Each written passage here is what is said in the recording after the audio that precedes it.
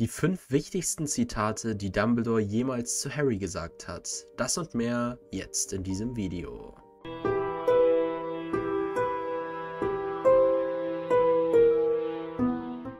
Im heutigen Video besprechen wir die fünf inspirierendsten Aussagen, die Albus Dumbledore jemals zu Harry Potter gemacht hat.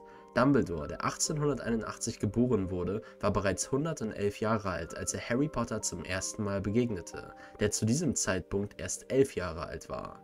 Es versteht sich von selbst, dass Dumbledore für viele Hexen und Zauberer, die ihn noch vor Harry Potter kannten, eine Inspirationsquelle war. Dumbledore war für viele Hexen und Zauberer ein Vorbild. Im Laufe der Bücher hört Harry oft, wie Dumbledore anderen Charakteren bedeutungsvolle Worte mit auf den Weg gibt. Doch in diesem Video konzentrieren wir uns speziell auf die inspirierendsten Aussagen, die Dumbledore direkt an Harry Potter richtete. Beginnen wir mit den Zitaten in chronologischer Reihenfolge. Das erste Zitat stammt aus Harry Potter und der Stein der Weisen, in dem Dumbledore zu Harry Potter folgendes sagt: Es ist nicht gut, wenn wir unseren Träumen nachhängen und vergessen dabei zu leben. Als Dumbledore dieses Zitat zu Harry sagt, besucht Harry gerade heimlich den Spiegel von Nerhigeb, einen magischen Spiegel, der seinem Betrachter seine tiefsten Wünsche zeigt. Ohne zu wissen, dass er nicht allein ist, verliert Harry sich im Anblick des Spiegels, bevor er realisiert, dass Dumbledore ebenfalls im Raum anwesend ist. Übrigens, wenn man Nerhigeb rückwärts buchstabiert, ergibt das das Wort Begehren. Über dem Spiegel findet sich eine Inschrift, die rückwärts gelesen Ich zeige nicht dein Gesicht, sondern den Wunsch deines Herzens lautet. Vor dem Spiegel sieht Harry sich umgeben von seinen verstorbenen Eltern Lily und James Potter und dem Rest der Potter-Familie, die er nie kennengelernt hat. Dies gibt Dumbledores Rat eine tiefe Bedeutung. Er erkennt, dass Harry am liebsten stundenlang vor dem Spiegel verweilen und sich vorstellen würde, wie es wäre, wenn seine Familie noch am Leben wäre. Doch würde er das tun, wäre er gefangen in einem Traum, der niemals Wirklichkeit werden könnte. Würde Harry Potter seine Zeit damit verbringen, ständig vom Unerreichbaren zu träumen, dann hätten wir nie die Chance gehabt, all die erstaunlichen Taten zu erleben, die er als junger Zauberer vollbracht hat. Als nächstes zitieren wir eine inspirierende Stelle aus Harry Potter und die Kammer des Schreckens. In diesem Buch sagt Dumbledore zu Harry, viel mehr als unsere Fähigkeiten sind es unsere Entscheidungen, die zeigen, wer wir wirklich sind. Dieses Gespräch findet statt, nachdem Harry aus der Kammer des Schreckens zurückkehrt. Dumbledore gibt zu verstehen, dass der Hauptgrund, warum der sprechende Hut Harry in Gryffindor statt in Slytherin eingeteilt hat, Harrys eigener Wunsch dazu war. Dumbledores Reaktion überrascht Harry und wahrscheinlich auch die Leser. Er scheint keineswegs erstaunt und lässt durchblicken, dass er wusste, was Harry dem sprechenden Hut mitgeteilt hatte. Er sagt zu Harry, genau das unterscheidet dich von Tom Riddle. Tom Riddle ist der Jugendname von Voldemort. Mit dieser Bemerkung macht Dumbledore Harry deutlich, dass er sein eigenes Schicksal bestimmen kann und nicht umgekehrt. Dieser Rat beeinflusst maßgeblich Harrys Weg und motiviert ihn, moralisch richtige Entscheidungen zu treffen und das Gefühl der Kontrolle zu behalten, anstatt einem vermeintlichen Schicksal zu folgen, das ihn am Sieg über Voldemort hindern könnte. Unser drittes inspirierendes Zitat stammt aus Harry Potter und der Feuerkelch, in dem Dumbledore erneut betont, dass jeder sein eigenes Schicksal selbst bestimmt. Dort sagt Dumbledore folgendes: Es kommt nicht darauf an, als was jemand geboren wird, sondern was aus ihm wird.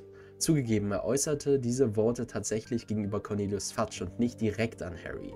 Dumbledore richtet diese mahnenden Worte deutlich an Fudge, den Zaubereiminister im Krankenflügel von Hogwarts, nach Cedric Diggorys Tod und Voldemorts erneutem Aufstieg zur Macht während des Trimagischen Turniers.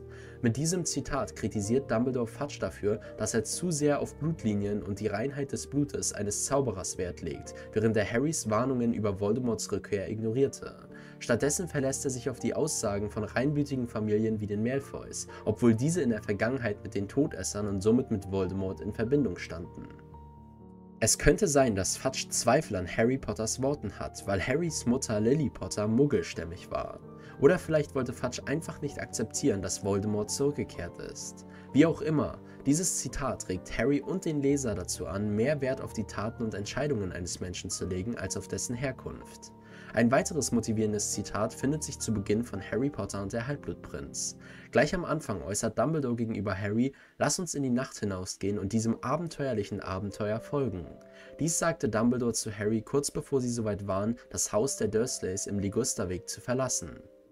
Als sie sich darauf vorbereiten zu gehen, klärt Dumbledore Harrys Tante Petunia und Onkel Vernon darüber auf, dass die Zauberei, die er vor 15 Jahren gewirkt habe, dafür sorgt, dass Harry in diesem Haus einen mächtigen Schutz hat, solange er es sein Zuhause nennen kann.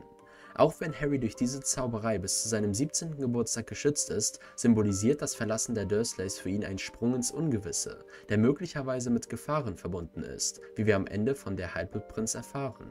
Es könnte sein, dass Dumbledore, obwohl er die Dursleys darum bittet, Harry bis zu seinem 17. Geburtstag erneut nach Little Whinging zurückkehren zu lassen, ahnte, dass diese besondere Abreise für Harry riskant sein könnte. Dennoch schaffte es Dumbledore, diesen mutigen Schritt sowohl inspirierend als auch spannend erscheinen zu lassen. Und das führt uns zum fünften und letzten inspirierenden Zitat von Dumbledore an Harry aus Harry Potter und die Heiligtümer des Todes. Es lautet, Harry, bedauere nicht die Toten, bedauere die Lebenden und besonders all diejenigen, die ohne Liebe leben. Selbst nach seinem Tod in der Halbblutprinz findet Dumbledore einen Weg, Harry Potter zu inspirieren. Dieser tiefgreifende Ratschlag wird von Dumbledore erteilt, nachdem Harry von Voldemorts Avada Kedavra-Fluch getroffen wurde und sich in einer mysteriösen Zwischenwelt wiederfindet, die einer Art Vorstufe zum Jenseits gleicht. In dieser Szene befindet sich Harry unerwartet auf dem King's Cross Bahnhof und begegnet dort seinem verstorbenen Mentor Albus Dumbledore, sowie einer gequälten Kreatur, von der man annimmt, dass es ein Stück von Voldemort selbst ist. Dieses Stück war als Horcrux in Harry verankert, den J.K. Rowling als ein durch dunkle Magie geschaffenes Gefäß definiert, in dem ein dunkler Zauberer ein Fragment seiner Seele verbirgt, um Unsterblichkeit zu erlangen. Doch was will Dumbledore dem angeschlagenen Harry mit diesen Worten vermitteln? Es scheint, als wollte er Harry motivieren, zum Leben zurückzukehren, statt den Tod zu wählen. Zu diesem Zeitpunkt hätte es für Harry durchaus verlockend sein können, den einfacheren Weg zu gehen und den Tod zu akzeptieren. Wie Dumbledore betont, ist das Leben oft voller Herausforderungen. Diejenigen, die leben, verdienen Harrys Mitgefühl. Dumbledore möchte Harry offenbar vermitteln, dass wenn er sich für das Leben entscheidet, er es mit Liebe tun sollte.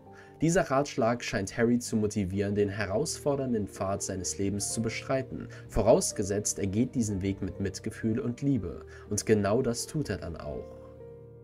Und das war's mit diesem Video. Ich hoffe, es hat dir gefallen und wenn es das hat, lass doch gerne einen Like und ein Abo da. Wenn du Fragen oder Anmerkungen hast, schreib sie gerne in die Kommentare.